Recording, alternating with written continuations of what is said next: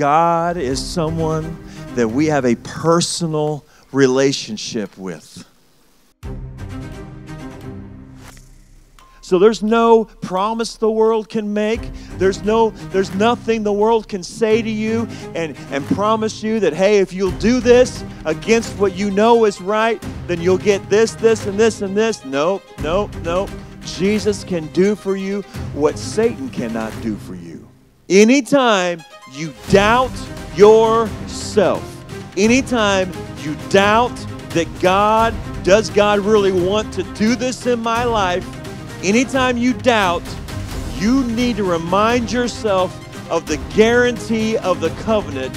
And the guarantee of the covenant is the fact that He sent His Son to die on the cross for you and I.